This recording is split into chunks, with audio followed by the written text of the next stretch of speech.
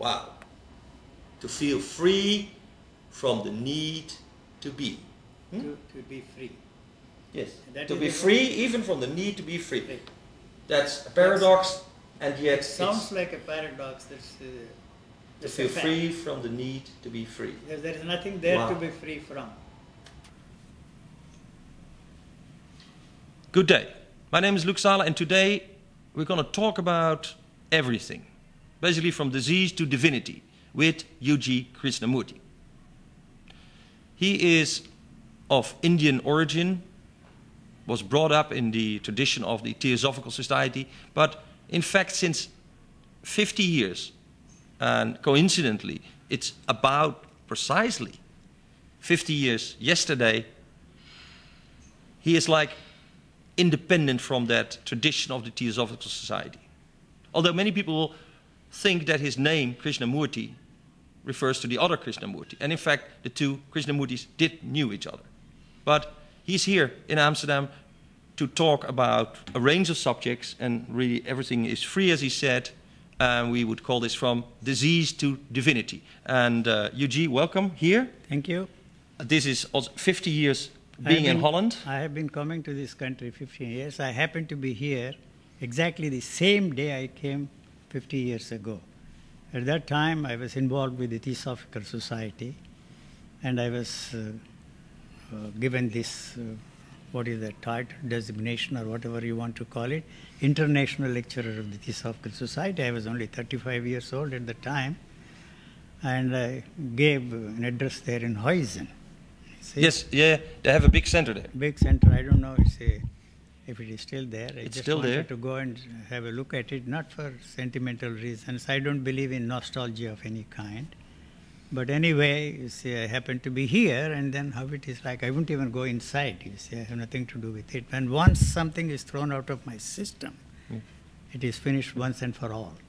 But it I'm- seems you have, when you were younger, you did a lot of work on Everything. everyone, everything. You read a lot, but since 50 years, you say, "I don't care. Yeah. I am my own thinker, and whatever traditions you you throw it out of the window." They're thrown out of my system completely and totally, not just the theosophical uh, background, but everything India stood for. Not only that, when so many people, scientists, nuclear physicists, psychologists, all of them come to see me, you know, and uh, I don't accept anything that is born out of human thought. You see, it is most destructive, but we have a tremendous investment in the thought. You see, thought is the enemy of us all. Thinking, you say, is not. It sounds like you say it's a computer and we don't need it. We don't need it. This is automatic, it is so mechanical. And we are not ready to accept that we are just automatons and just mechanical in our functioning and that we are just animals. And human animal is something extraordinary with an extraordinary intelligence, unparalleled in any living organism on this planet. But we have been made to believe that we are born for some grander and nobler purposes than all the other forms of life, and that everything that is there around us is created for, For our us. benefit. That is why we have created all this mess in this world. So if human species wiped out from this planet, nothing is lost for this planet. You say humanity compared to ants or whatever. Yeah. Is that an We- extremely positive or It's a extremely very negative? positive statement. You see, it is very comforting for you to think that it is a negative statement, but uh, you are not ready to accept that we are no more important than the mosquitoes that bite us. You know, the female mosquitoes need the hemoglobin to give continuity. Male mosquitoes don't come anywhere near us. So our usefulness is only For the female. mosquitoes. you know, and we will be more useful to nature than dead than alive. You see, we are destroying so many other forms of life. So you, you basically say that this homocentric thinking, Yes, that is the, the idea that our brain is better than the brains of Yeah. ants or, or Yes, mosquitoes now they have found is a wrong way. Wrong way, and we are made to believe that that is so. And we have tremendous investment in those people who come up with these ideas. And we think that they know what they are talking about. They don't know what they are talking about. They are fooling themselves and fooling us all. The same thing that all the great religious teachers have done to mankind. They believed that they were all enlightened people, that they are there only to enlighten all the people. We are interested in having all that we have today, all this plus something more. That is what they are offering. All this in heaven. But there is no such thing as heaven, and we are not ready to accept this is all that is there.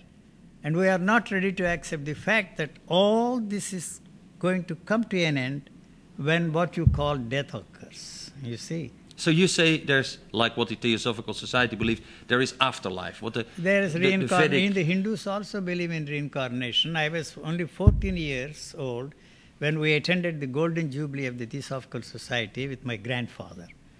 And the Hindus believe in reincarnation, you see.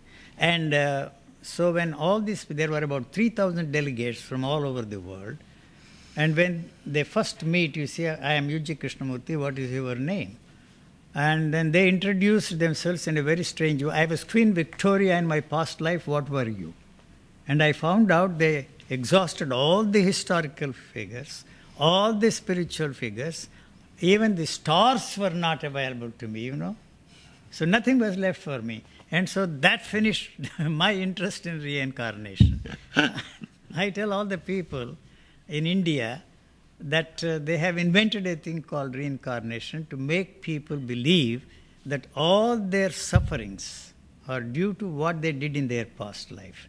If I am a beggar, they tell me that you did something terrible in your past life, and so that is why you have become a beggar, and you have to depend upon the charity of the people. So they feel guilty because they have stolen everything that rightfully belongs to everybody, and they give only to keep him there forever. Otherwise, he will come and blow us all up. We are not ready to accept our way of theory, our kind of uh, stealing everything, and we have created the police force to protect us. And if the policeman cannot protect me, I have an army, navy, air force, and we have nuclear weapons to maintain our own status quo and our way of life and our way of thinking. And so they have invented such a clever thing to keep them where they belong. You see, you did something terrible in your life, and so you have to suffer in this life and make a virtue of that suffering. Okay, you say and you will be born karma again. is karma is only in this life. The karma is translated in a very strange way. Those who are talking about karma, they do not know actually what that word means. Karma means an action which is not a reaction. All our actions are reactions born out of our thinking.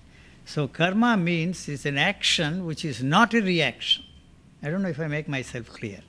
So you will never know the actions that are not reactions. It is one unitary movement, you see. So it cannot be separated. The actor and the action and the And whole reaction. activity is one unitary movement. Like the, uh, the, the response to the stimulus, you know, stimulus and response is one unitary movement. They cannot be separated.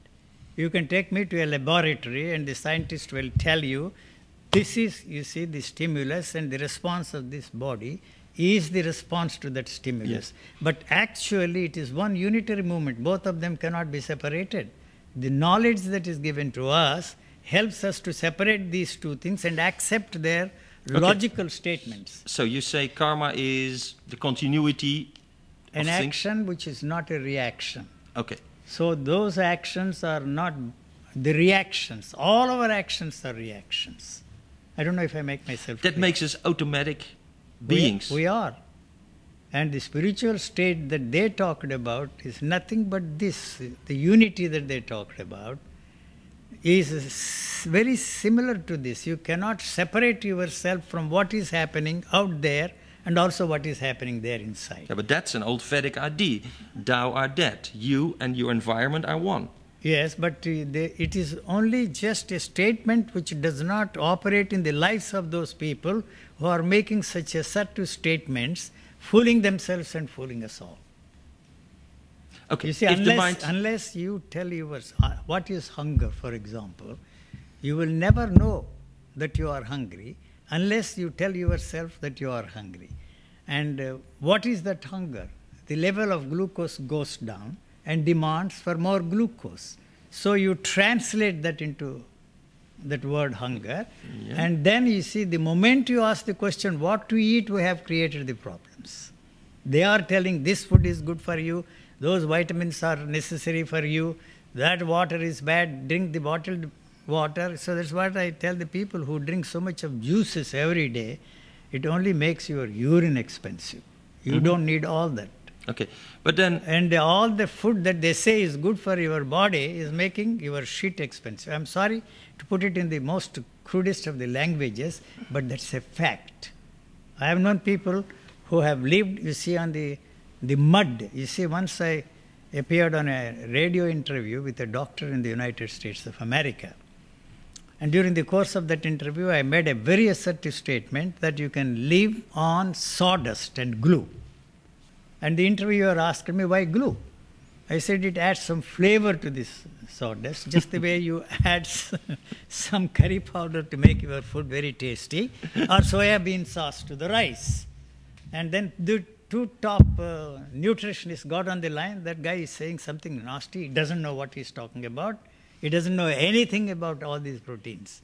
And after that, one old lady, 95 year old lady, got on the line and said, What he's saying is true. I was there in Leningrad during the Leningrad siege for four years.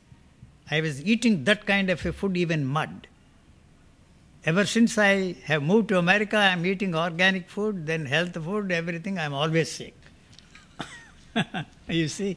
So we are made to believe that that is the kind of food that will keep us.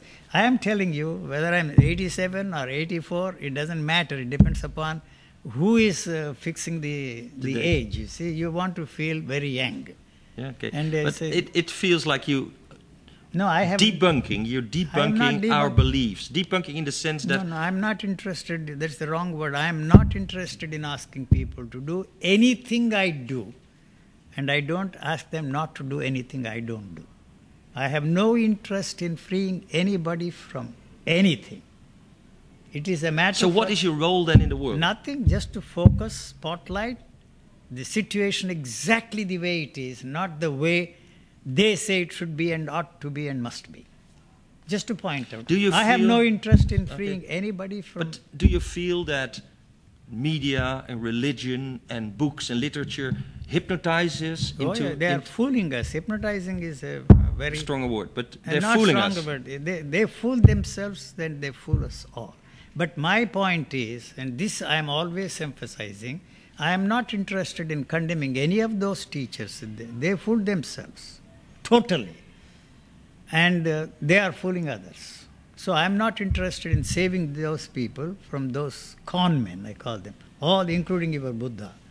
You see, and uh, he allowed themselves, you see, to uh, you see, we allow them to fool us. And why do we allow them to fool us? Why do you allow us? We need security. No, we, we, we, we think that uh, what they are saying is valid and true. They know what they are uh, saying. You know, when once everything was thrown out of my system, everything, not just the theosophical background, but the Hindu background, I did psychology. Then I discovered that Freud was a stupendous fraud of the 20th century. As a student of psychology, 70 years ago, or even 75 years ago. And that surprised my professor from Cambridge University. How can you make such statements? Because that's what I see here. You see, what he's saying, he does not know what he's talking about. And when my book was published, you see, my conversations with so many people in America, the person who did uh, uh, research in the archives of uh, Freud in England found that that guy falsified 49 case histories to establish himself as a great psychologist. And he knew what he was talking about, that professor. When he read that, my statement, which I made as a student, uh, when I was only 30, no, no, only 23 or 22 years old, that surprised him and he came to see me. How you could make such a statement? You see, because you see, I knew that there was some. I might even. Okay, but I let's take it. you- You you have you said many of Buddha, Freud. Are there people that you admire? Not one genuine person on this planet. It is not that I am, Uh, not cla- I am not I am not claiming, just get this and get this straight, that I am the only one, that I am far superior to all those people that existed before me. All those who existed before me, all those who are there around us today, and all those who are yet to be born, they are all con men if they say that there is something that they can do to save you and to save mankind. Okay.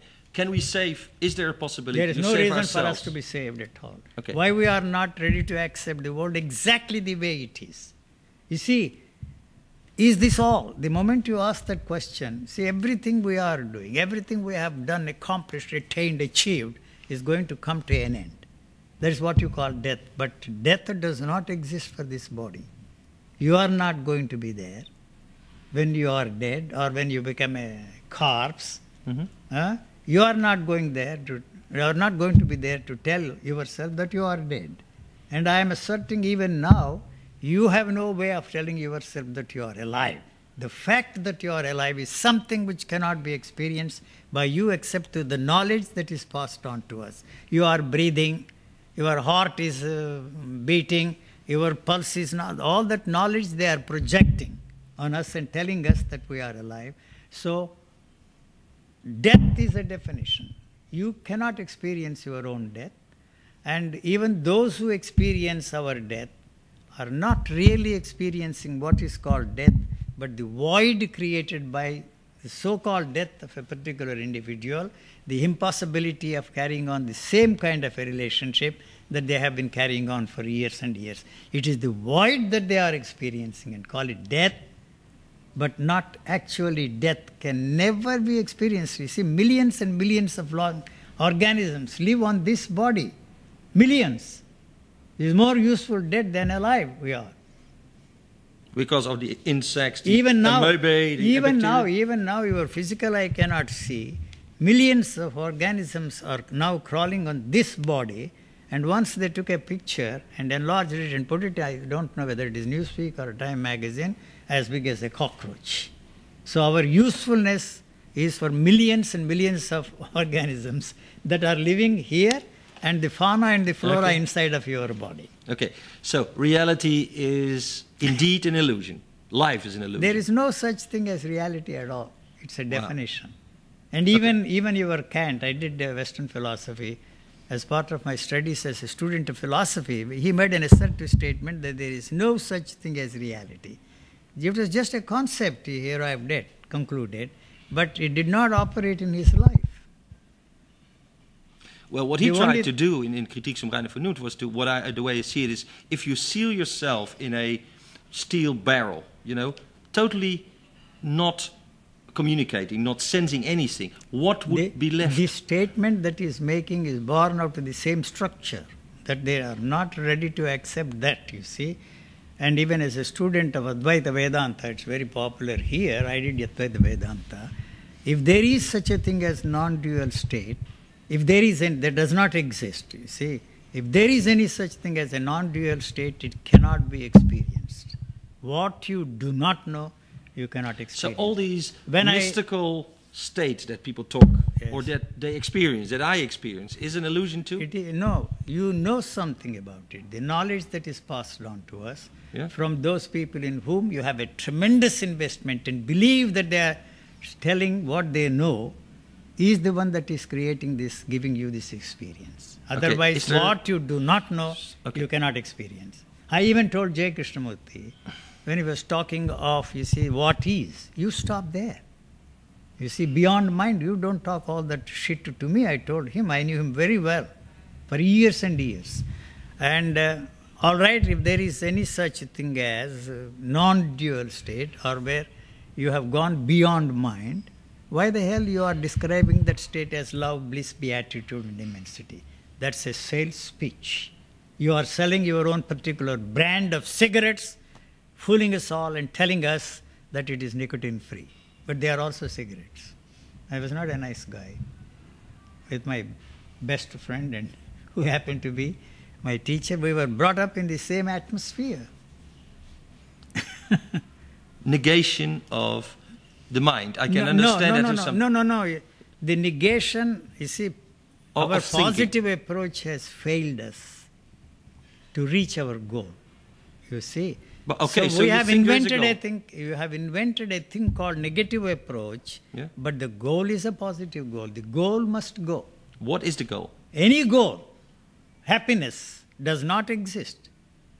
And permanent happiness. Yes, but so there is no goal, there's no direction, No, there's there- no reality. What, are we? What is, you know, that question wouldn't arise at all. Your assumption that there is such a thing as you say, is is a realistic thing and the goal, some goal placed before us. You see, you are supposed to be a selfish man. Suppose, I'm not referring to you. I am But supposed we to- are as human beings. Yes, and that selfishness is experienced by me as selfishness because they are telling us that there is such a thing as a selfless state and that they are free from selfishness. And so we take those words very seriously and begin to think that they are living a life which is free from selfishness. It is the demand to be, for whatever reason, you want to be selfless, is the one that has created and perpetuating this. You are not doing anything to free yourself from selfishness because it doesn't exist. It is that demand to be selfless for whatever reason they want us to be Okay, selfless. but so you basically say that what Anything. cogito ergo sum, Huh? yes, the beginning of modern philosophy, cogito ergo sum. Hmm. I think so. I am. You say that's if you don't think, what the hell is it? I studied uh, Descartes, cogito ergo sum, and that fellow was pressured by, you see, the church at that time, and he So he came up and you said even that compromise. You see, if okay. there is, if you don't, so if think, the mind- if you don't think, Okay. where is that? And uh, those people who started the other way, like in India, I feel. I feel. So I am. feeling also is a is a thought. You see, thoughts don't exist there, sir. It's only noise that is there, sound that is there. Nothing else is there, and that has. eh, see, we have created the language You say sound is there. Frequency. You mean? that you don't know unless you see you separate the no, the notes are the most important thing for us you see creating the space between the notes in a particular way the way we are taught how to space those notes created these thousands and thousands of languages. You teach me how to separate those notes the music also is the same. There is nothing to music. Nothing. First time when i went to england a friend of mine, I was not exposed or even bothered about listening to the Western music. I was only 21 years old. He dragged me to the Albert Hall to listen to one of the most uh, famous concerts. I walked out in five minutes. I could not take it, you see, the Beethoven's Ninth Symphony or Fifth Symphony. But uh, I put it in a very crude language. Those people who try to be clever and make me believe that uh, Beethoven's Ninth Symphony is something extraordinary. Even the same Indian music. Uh, Okay, but now this sounds music like is nothing, yes. are there nice things in your life? Huh? Is there a difference between this coat and a very dirty coat? Yeah, but you, who says that this is fine? This is most expensive. But Some do you feel that? No, I don't feel. You don't care about it. No, I don't care. I don't want to walk naked to prove that I don't have any body consciousness like some of these uh, Yeah, yeah. spiritual people. It's better to run, uh, you see, some So there nudi- is a thing- nudist colony Okay. So and live a sensual life than to call it as uh, body consciousness is absent to prove that you don't have any body. You have to walk naked in the streets. Uh, it is for their sake that I wear clothes. And what kind of clothes I wear? You walk through all those shops, they are telling you how you should dress yourself. Mm-hmm. What surprised me in England for the first time after so many years, all the men's menswear pushed to the uh, ground, underground. And women, I never saw those things exhibited in the windows in Harrods. Would you believe that? that just didn't see surprised me most. I'm sorry. I, what are good. we talking so about? we're talking about are disease to divinity, and and When- I feel like in a very empty space because you say everything you are is, saying is, that you are is not, there. You are not in an empty space. If you are lucky to be freed from the stranglehold of all that is put in there, the question of space or living in a space doesn't exist. You are, what you are what the- is the state of mind if you are free of all the these fact, things? The, the fact that you are throwing that question at me is born out of the assumption that there is Mind. something there which will remain after this is thrown out of your system. The throwing out of this is born out of that question, wanting to know what will be there, what you will be left with, is the extension of the same thing, is the projection of the same thing.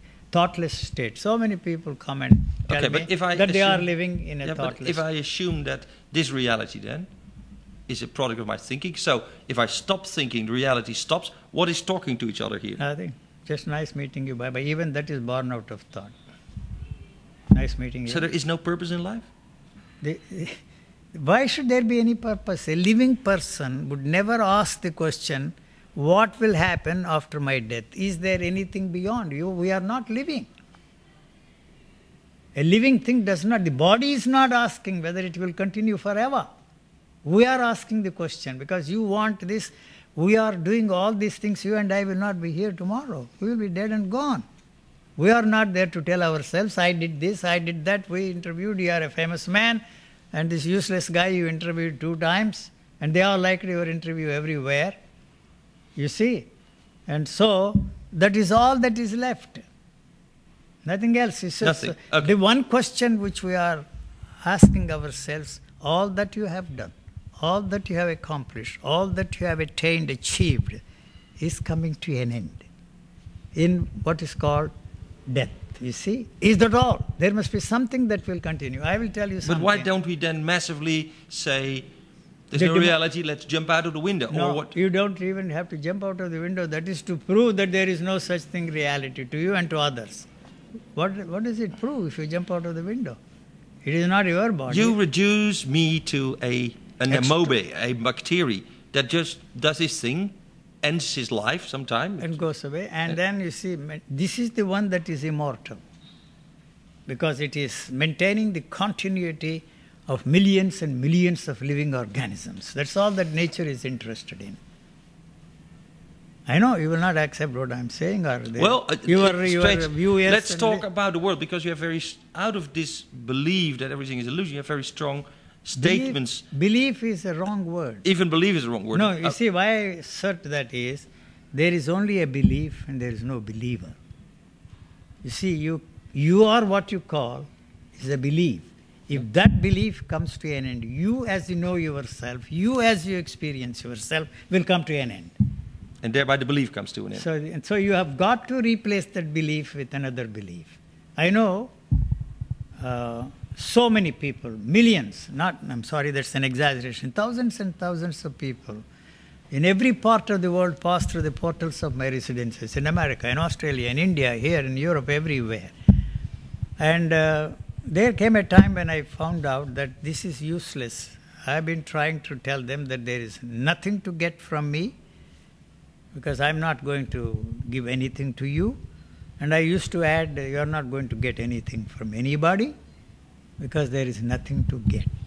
So, Not even from the inner self, from the no- inner. nothing. It is an extraordinary, intelligent thing that is living its own life in its own way.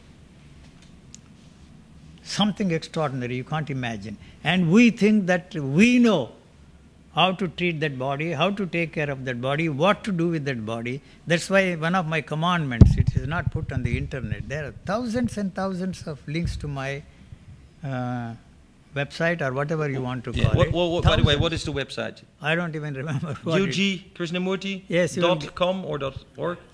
What? Dot net. Okay. I don't know, but anyway, you see, We'll put it up. thousands and thousands, not hundreds even.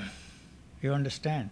They link to you because you seem They- like the nihilism. No, no, they don't call me a nihilist. Einstein and UG in one link. And uh, these are the two greatest destroyers of the 20th century Einstein from the west and UG Krishnamurti from the east. And then they. Uh, Yeah, but the funny thing is you destroy, but you don't No, I'm not put anything in its place. You give us I'm not destroying. I'm not interested in destroying anything. That is the way you are putting it. I'm not interested in destroying anything. What would I gain by destroying anything?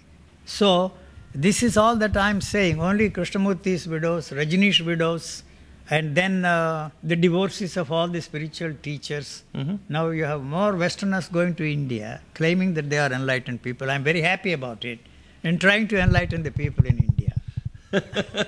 I'm very glad. One thing that I'm very happy about is all these Westerners, the claimants to enlightenment, are going to India and trying to enlighten people, not the other way around. Okay. All of them Good. coming here. Let's go to a little bit of, of, of practical things in the world because you have, you, your opinions are, are very, for me, worthwhile in debunking our belief systems. Yes, that's what you do. I am not debunking anything. Okay, well, Uh, because I'm not. for me, you're debunking my yes, belief but system. I'm not trying to uh, say, uh, uh, tell you that they must be replaced with another. no, no, you say just do away. They're No, you are not going to do it. It cannot be, you see, an action, voluntary action on your part. You see, they put me off on a merry-go-round. I was sick and tired.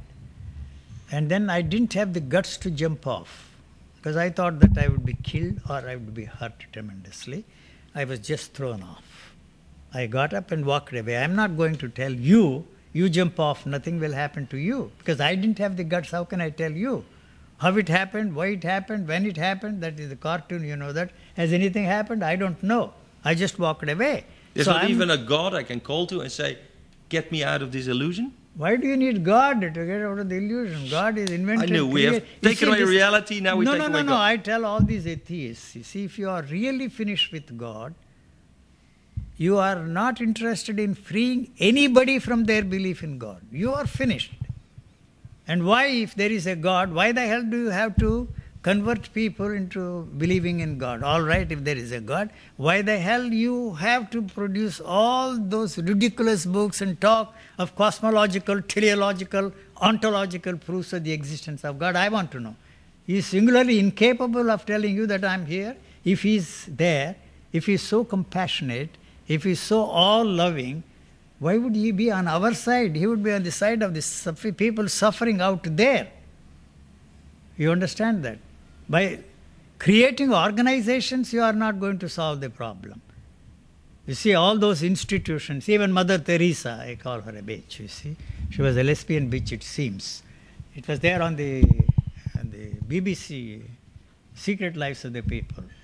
And uh, so, why you want to perpetuate the misery of those people? You are, communism is not the answer. Political institutions are not going to, because I am not interested. Okay. But so in that way, you could say, we, these days we are concerned with something called terrorism in the world. Yes? Uh, people going crazy, Why? making bombs about themselves, flying into. But why are you sending people to the battlefields, knowing very well that if you don't succeed in killing the enemies, you will get killed? And then you create monuments and statues for those people. Why you are? You think God is on our side? If there is a God, He should be on the side of those people who are suffering, miserable people. And you think God, in God we trust. You know, you remember during the Second World War, the Germans said God is our co pilot. And the British also said the same thing God is our co pilot. And those who are on this, the co pilots of the British, in, it was not Britain that helped to win the war, it was Russia. They paid the heaviest price. You know that?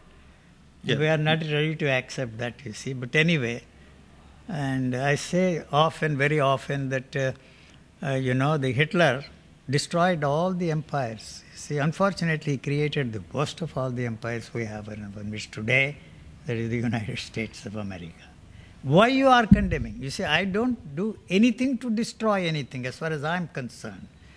I am not uh, interested in condemning anybody who is destroying because it is destroying our status quo. We don't want to lose anything. I told the leaders of India, you erase the middle class people there in India. The only benefit that uh, the people have been benefited in India after India's independence are the middle class people. You understand? Yes. Huh? And uh, I The Dravidas, the low class, uh, the, they the are still there. They're still Seventy there. percent of the people are as miserable as uh, ever before, and so these people, you know, now they opened their gates, and then this stuff from uh, America, and you have as if you don't have oranges and drinking orange juice. They drink uh, Tropicana orange juice uh, imported from the United States of America. Why? Why do they have to do it? Only the middle class people. So erase the middle class people. The rich people, you see, anything. I was born into a very wealthy family. I didn't have to bother about anything I wanted, I could have had. So that was not, I have not in any way been benefited by India becoming a free country. Not that I wanted the British to continue forever. I knew that uh, somehow I never thought that the British Empire would come to an end during my lifetime or even the lifetime of my great grandchildren. For that, you must thank Hitler. And they say that he killed six men. Are you Jewish or something? No, I am considered to be. I think there's Jewish blood in many of us. Yes, I, th- I, I, think uh, they say that I'm uh, anti Semitic, which I am not. You see, in the Tel Aviv library, amongst these uh, things, they put my stuff, number three.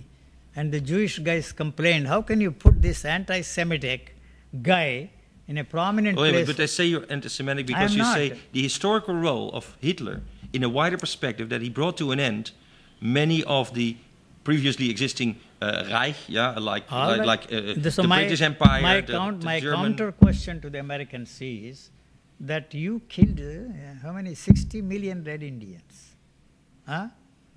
the American Indians, yes. American Indians. Do you know what? Uh, just before uh, he went out of office, where Clinton appeared on a stage and brought a 90 year old Japanese guy. That was very interesting. And they took away, he was in the concentration camp. There was a concentration camp in the United States of For America. yes, Yes, and they took away all his properties. He apologized for the way they treated these people and put them in the concentration camp and denied them the basic things, the way they took away all their properties. He did not return them to those guys. And they want, you see, the Swiss banks to return all the money that the Jewish guy put in their banks. Why should they do it? And why not uh, you do it? And he also apologized for the way they treated the Negroes and Negresses in that country. And he also apologized for the way they killed thousands and thousands of red Indians. What a. Uh, I, I was uh, ready to use a shit uh, talk it was. They do nothing. You see, they, they apologize. Apologies are seldom of any, and excuses Any are of no value. I'm sorry, I'm not impressed by that. You know, I don't believe any other political systems. I was there in Russia in 1960. I blasted that country. The only reason I praised them was you are very successful in keeping all those Western nations in their tracks, and with all their might, they could not destroy you. And that Gorby, Okay. Now it seems you are denying the, the true existence of many things, but there seems that you feel that there's something like balance. no, it doesn't exist. As you say, Hitler kept. There, there's a balance. There's all these. No, no, I didn't. Uh, see, that's why I say that uh, India should be grateful to Hitler and not to Gandhi. See, this I point out. They agree with me. In the name of non-violence, more people were killed. You see, men, women, and children than uh, what the Britishers did at that time. So even Gandhi didn't have the intelligence, basic intelligence to understand what I was emphasizing. And I said both violence and non-violence spring from the same source. Okay, but- Anything that is born out of thought is destructive. Okay, but at, at this day and age, we are really getting the results of the separation of the Muslim and uh, Hindu countries in India. It seems that what happened with Gandhi and Nehru, kind of the separation in Pakistan and India, and now they're still fighting about the. Ayodhya Yes, Ram I, temple. I know that. You see, then they asked me, what do you think of this? Why are you killing uh, Muslim women? And Muslim women should kill the Hindu women. Yeah. You see, they are part of the country. See, it's not that I will do any such thing. So there is going to be a civil war. Supposing I don't identify myself with the rest of India, I come from the south. I want my state to be separated. Mhm. And then if I Which is your state, Kerala? no Madras, Madras and I was actually Andhra, but I grew up in Madras. Yeah. I spent more time in Madras than anywhere else. You see, so I want to have an independent country. And there will always be somebody who will be promised that he will get the presidency of that country. And so killing is inevitable. They are going to kill a lot of people who want uh, to separate themselves from the rest of India. I don't believe in uh, oneness of the country. I don't believe in their language. I don't even uh, touch the North Indian food. you see, it doesn't mean that I will do anything to destroy anything. So killing is the one way of resolving the problems, and we are not going to succeed. This thing I am emphasizing. You asked me before we started, you are not going to win the war against terrorism, and you are not going to win the war against drugs. So I point out why the hell you are eating potatoes, tomatoes, and aubergines. They have nicotine. It's better to smoke than to eat potatoes, tomatoes, and aubergines. Aubergines means eggplant. And it's better to take opium than eating all these salads, particularly lettuce. We are not ready to admit that kind of a thing. And you condemn this. One who has never smoked will never condemn anybody who is smoking. One who has not touched wine or even, it's the smell, you see, even the smell. Yeah. You see, will never condemn alcoholics at all. I don't. They can drink anything they want. I will even supply them most expensive wine bottles which they can't get uh, anywhere through the help of a pontiff. So I will, you see, one who has never touched that will never condemn. I am telling you. If there is any. Don't you place yourself outside normal I am very much human part. I am very much part. You are not. You are interested in changing yourself into something else. You are interested in changing the world, and it is the demand or the promise to create heaven on this earth is the one that is turning this into hell.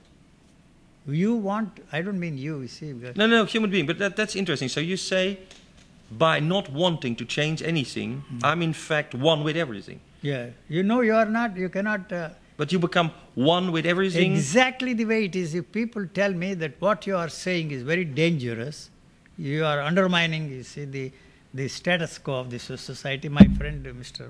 Mahesh Bhatt, who is the author of my biography, he visited uh, South Africa. He asked me, What's your message? I said, Kill Nelson Mandela. What? I can't tell the people. So he had a long chat with him and they talked about me. He said, U.G. Krishnamurti is the most subversive man that has ever appeared on this planet. But anyway, give all his all your books, I will read when I retire. You see, when once they get into the seat of power, they do exactly the same thing that they protested against. So if you want to do something to the Palestinians, kill Arafat. you see, he's killing more people. Not that I will do it. You see, he is doing exactly the same thing that he protested against. It does not mean that I uh, support status quo. The things are constantly changing, and we are not ready to go along. Even in our lives, we want change. But for me, I every time I talk with this is supposed to be an interview, isn't it? Yeah, yeah. But every time I talk with you, it is like you take my beliefs, which is reality, which is politics, which is this and that and that. You break it down to nothing. I feel No, then. no. um, I don't think I will ever succeed in that. I have no illusion. I, I, I, that's another thing whether you succeed. I'm not that's what I interested in taking away. What would I gain? I'm just pointing out the absurdity. Yeah, but you're the- like the black hole of our uh, planetary knowledge. Like whatever I I ask you about religion, So why do about take- you, you kind of say, well, Why? psst, and it No, goes why, in the black why, hole why do, why do you take very seriously what the scientists are telling us? They say that there is chaos. And so one joker said, there is order in the universe. And somewhere along the line, the scientists find that there is no order, but there is chaos. All right. There is chaos. And a third joker comes along and says there is order and chaos in the same frame. Like the scientists are no different from the metaphysicians. We admire them, like them, uh, because they have given all these things to us the technical knowledge, which has helped us to do whatever we want to do. But that does not mean that there is anything. Why they are changing? They are all metaphysicians discussing these things and fooling themselves and fooling us all. They project their own ideations and meditations on what they are looking at. And we have tremendous uh, faith in them. We believe that they know a lot more. They know nothing. I'm sorry. Okay, Uh, what is okay. left? Uh, beauty. Is there beauty? No, it's essential. It's better, this is what I say, to look at the bouncing breasts of a pretty girl than to look at the sunrises and sunsets. Both are the same. If both are the same, if you reject that one, looking at the sunrises and sunsets and the beauty of the flowers, and listening to the river and watching the clouds, this will go. That's what I'm saying. We are not ready to accept the actual facts of our existence. A mother who loves the child so much, why the mother beats the child? And you condemn that as anger. It is not anger. It is not anger. Anger just flashes like that. And it is not there anymore. Why the child beaten by the mother cries and then the mother cries afterwards? It is because the beating is the result of the impossibility of making the child do the things the way the mother wants. wants the child to do. You give a wrong name to that.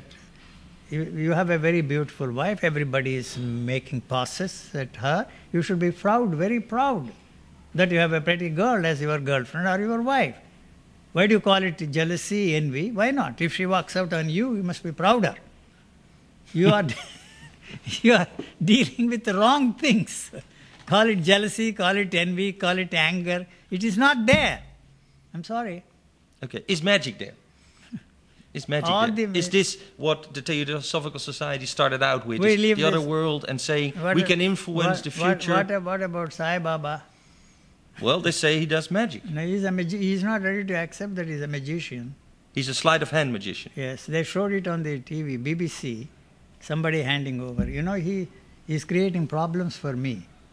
You see, Sai Baba tells those people who have lived with him for 20 years, 15 years, squeeze them dry, take away the money, and tell him that there is one guy there who is a real enlightened man. Go there, and he will help you. All right. And then uh, they come and cry to me, very rich women. I didn't even have the money to come here, uh, hiring a taxi. She was crying. I said, All right, I'll pay. I went out and asked him, How much do you want? 600 rupees. Why, that was a lot of money from his place to where I lived in Bangalore. And then I converted that into dollars and felt very comfortable and paid it. Next day she came. And then you see, this, uh, the police were after my friends because uh, something strange happened. You see, there were, he is, they say he is. Uh, um, a gay guy, and then uh, he, he called four boys. He was trying to make fun, and they said, "We are going to expose you." This is all there in the news, you see. And uh, then uh, he called the police. The police uh, uh, killed the four out of five boys on the spot without knowing why they were called, whether they were threatening to kill him or not. And so one fellow ran away. And then you see, they finally tracked his place, went inside, and they saw my photo and all my books. And so they came to you. They, no, I was not there, I was in America. They were calling me, you see. And they searched, they thought that I inspired those boys to kill him. I'm the last man to inspire anybody to kill anybody. And so they did research and they uh, went through all my books and they found two interesting statements I made in the course of my conversation. And one thing I made that you see, if he is in the know of divine laws of nature, it is necessary for him to tell all these scientists who are discovering the laws of nature, and they are all used by us to destroy life and property. So it is very necessary for him, if he is in the know of divine laws, to tell them how to Yeah. find out the real laws of nature and deal with them. And second thing, I made a statement which was not very acceptable to them. And uh, I, I said he was uh, materializing Swiss and American, I mean Japanese watches. And when Indira Gandhi, the Prime Minister of India, stopped the smuggling into that country, he switched over to the watches made in India. oh my God! So you're saying Sai Baba created or magically watches, and but when the supply from Switzerland stopped, he used other things. No, okay, I'm, so you, you I'm say not he's an against, imposter. I'm not against it. You say I'm not interested in saving any one of them who come okay, to see me. but you mentioned divine law. if there are any, you didn't. Uh, If there are any if law, do you are- believe there are No, there are no divine. There are no divine laws. We don't know much, and whatever we have discovered so far have been used by us, and still we are using to destroy every form of life on this planet. So you don't say it's impossible there are divine laws, but definitely we don't use them. We, we don't know if they have. What is that? What the point? Even if we call them divine laws, we will use them for destructive purposes only. Why should the uh, God, if there is a God or a divine power, should be on our side? I want to know. I don't know. I don't care. I never needed that guy in my life. If he's there, he's there. I don't need him. I know what I want. I know how to get what I want. You see? And you say, I'm me, I'm on my own, I don't need any Oh, I need reality. money. I, need only money to survive in this world. Because otherwise, there is no way. You see, if I, even if I am ready to eat your apple trees, mm, fruits from your apple oranges, You have to pay they days. belong to you or to the state. Yeah. If I steal, I am hungry and you will put me in prison. So, that is all. So, I need money to survive in this world. That's the be all and end all of our existence. But so you don't, need religion, you don't need law, I don't need you don't need drugs. How to you survive? I didn't want even to educate myself. Why the hell do I have to go through all these educational institutions and study 250 natural orders and the names of all those who teach what for? To teach that again to the students and make a living? There must be some other way of making a living. My grandfather was very rich. So I said, You sweat and give me the money, I don't have to work. Why should I pass the examinations? Why should I have degrees? You got it? Not much left. That's the main story. Everything- U.G. No, no, Krishnamurti, you every time I talk with you, you leave me with nothing. I would call you the big black hole of our knowledge. Everything that we can dream up as, as, as being relevant, as having meaning, goes into U.G.'s black hole and Not disappears. mine, well, mine. in in the in the black hole I that you talk see, about. I don't see any black hole. Well, for me, you are. you are like there where our, what you call illusions, disappear. I don't know what's behind the black hole, neither do you. But, But uh, I don't see any black hole there. You see a black hole. It's no, but whatever I see, you make. That's go up very- in smoke. th- There is a, uh, that's a very comforting thing for you to believe that uh, I am a black hole. And you, Even the belief of black hole isn't there. We've spoken with U.G. Krishnamurti, and um, 50 Really? years he came to Holland, and about 50 years he did away with his being, but- being associated with the Theosophical Society. and with everything that India and stood for, everything that India stood for, and I, I believe every- everything that everything that the human Western thought, world uh, for- stands has for. come up with. So everything was thrown out of my system. I am a very lucky guy. I have been freed from the stranglehold of the human thought. And I cannot be of any help to anybody because you don't need any help. wow, to feel free from the need to be. Hmm? To, to be free. Yes, And that to be the one- free, even from the need to be free. Free. That's a paradox, and yet It sounds like a paradox. That's, uh, that's feel a fact. free from the need to be free. There, there is nothing there to be free from. Okay, All right. Thank note, you for- Thank you very much. Indeed. indeed. Oh, I don't know what we said. Okay. Wow. It is Oh, one hour we talk.